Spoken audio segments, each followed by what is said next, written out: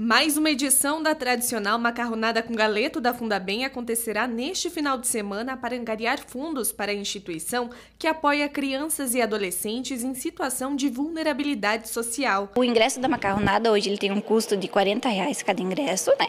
As pessoas podem jantar no local e também levar a marmita. É, esse valor total da macarronada, ela nos ajuda na manutenção da casa e alguns valores que a gente precisa, que hoje o custo fixo aqui gira em torno de 25 mil mensal. Então ele nos ajuda, além dos projetos que também vêm da assistência social, que é da prefeitura, né? As emendas que vêm. Mas então ela nos ajuda num valor porque a gente tem só voluntários trabalhando na macarronada e a gente ganha tudo. Então, uma farinha, ovos, então tudo que é para preparar a macarronada a gente acaba ganhando.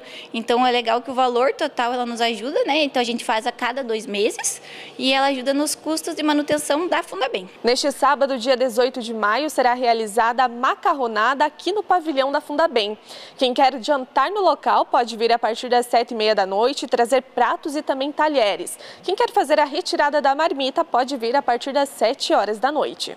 Os ingressos para o evento estão à venda no Supermercado Polo e Patão, além da utilíssima da Tapajós. Também é possível reservar ingressos pelo telefone WhatsApp 469 3505 6382.